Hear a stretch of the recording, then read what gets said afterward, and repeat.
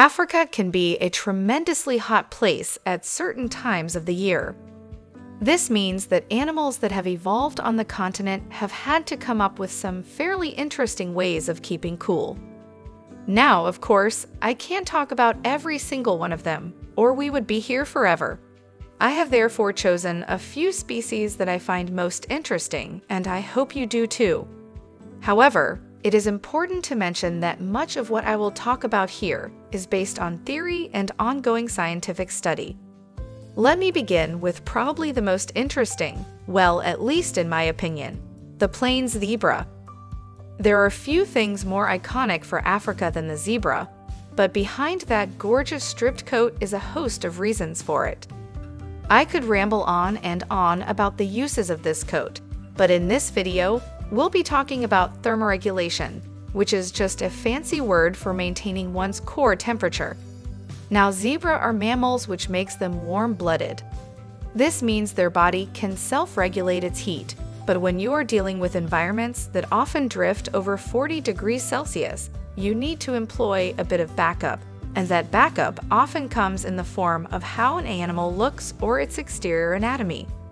This is where those stunning white and black stripes come in. Now, we all know that black attracts heat and white repulses it, but zebra are probably pretty evenly black and white, and so this would defeat the point. However, what few people do not always realize is that zebra, like horses, sweat.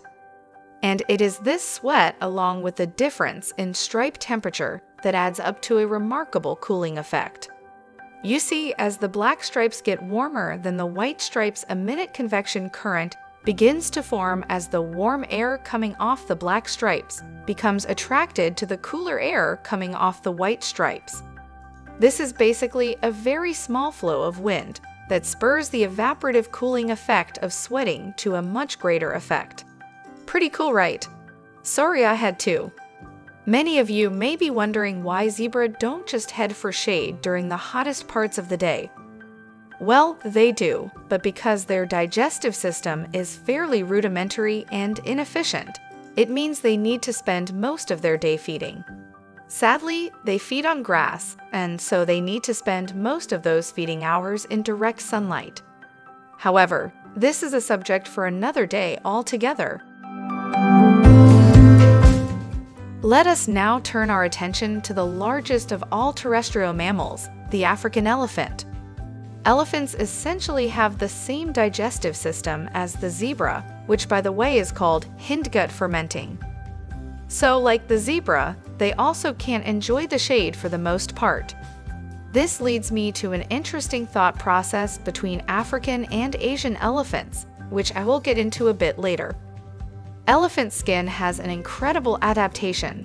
It is the biggest of their organs, and what it does for the animal's thermoregulation is incredible. I will explain this first. For those of you that have ever been up close and personal with an elephant, you would have no doubt admired its skin and all the wrinkles, and for lack of a better term, crevices that make up this very mobile outer layer. And mobile it is. When you weigh in excess of 4 metric tons, your skin better be very well adapted to allow you to move your incredible mass around but we're here to talk about cooling before I get ahead of myself.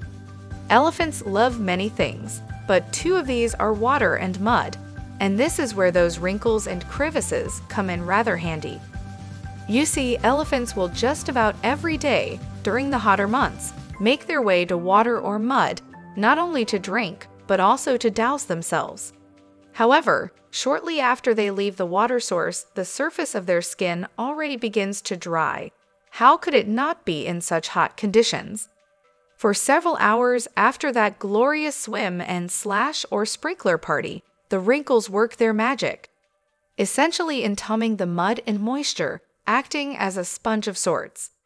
Therefore, allowing these massive pachyderms to enjoy the cold mud for hours to come. There are a number of things that make elephants so famous, one of them being their ridiculously massive ears. Their ears can be used for a number of things from visual communication to thermoregulation, and yes, even hearing. Their ears are super thin, cover a huge surface area, and are filled to the brim with blood capillaries and vessels. What this allows them to do when it gets a bit too hot is to pump their blood through those ears consistently while flapping them through the air.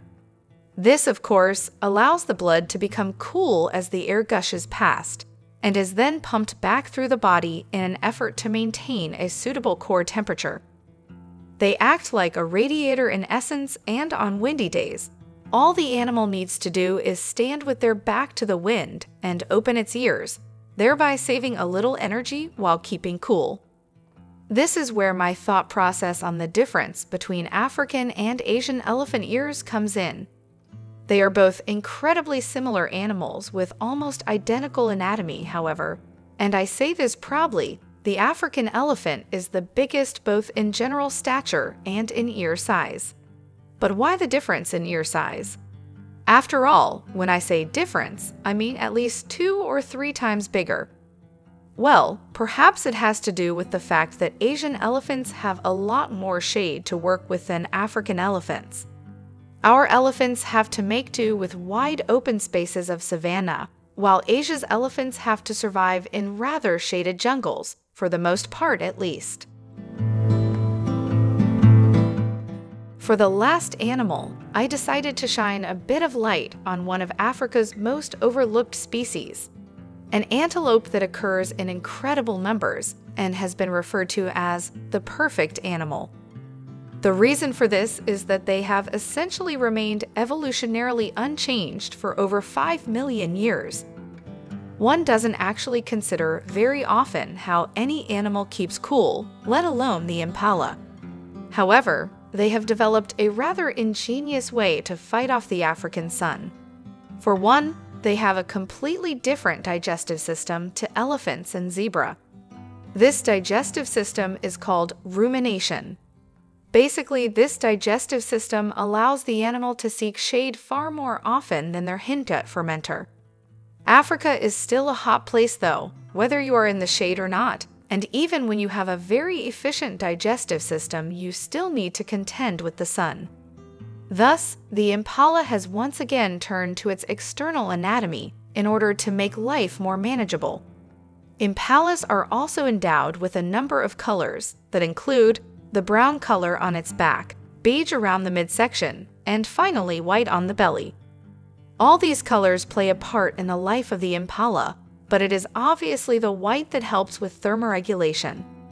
You may have heard before that some of the deadliest sun rays around are those that reflect off other things. Well, soils in Africa tend to be pretty reflective, often having a shiny granite makeup. As a result, impalas have evolved to rather reflect such sun rays away from their bellies in order to reduce the heat buildup within them. Now, if there was no such thing as predators, then there would probably be a lot more white found on animals. But at the end of the day, animals have had to find a good balance between camouflage and keeping cool. And this just so happens to be the perfect case study for that. Think of it as an anti solar panel of sorts. Overall, there are many animals that have developed various ways to keep cool and it happens to be one of my favorite things to think about when I am out on safari. Maybe when you are next out there, you will now have a new area of thought as far as how animals survive. Who knows, maybe it will even spur you on to think about animals from differing thought processes as well.